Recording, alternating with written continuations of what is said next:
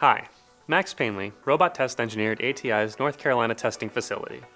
I work with customer parts daily to determine the best tool, media, and programming parameters for customer projects.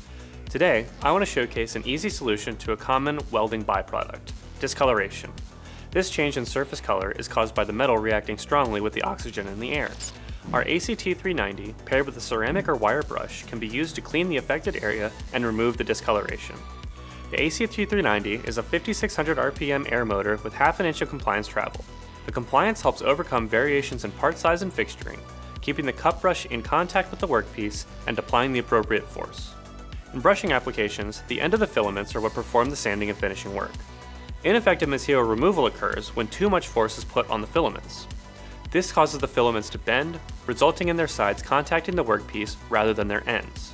Excessive bending of the filaments is not only ineffective, but also reduces the life of the brush and could result in damaged or broken filaments and wires. For this application, we've chosen Reliabotics brand ceramic brushes because they have long life. The ACT390 keeps a constant contact force applied to the workpiece and the brush turning at the proper speed. Let's take a look at this setup in action. We have our ACT390 on our Fanuc M20. This is a 20 kilogram payload robot, which is enough to handle the payload of the tool as well as the application forces generated by the light brushes. In this setup, we are bringing the process to the fixtured part.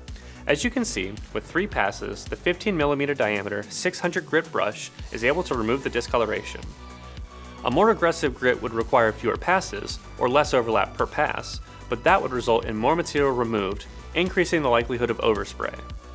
For an application like this, we recommend running the robot at a speed of 50 millimeters per second with a 7.5 millimeter step over and at a lower compliance force.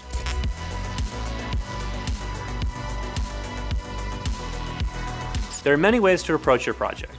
Today, you saw how the ACT390, paired with Reliabotics 600 grit ceramic brushes, could be employed for weld discoloration cleanup in a process to part application. If you'd like to talk more about this material removal application, or if you have a different one that you'd like to discuss, please contact the material removal team at www.ati-ia.com/mr. We look forward to helping you start your automation journey.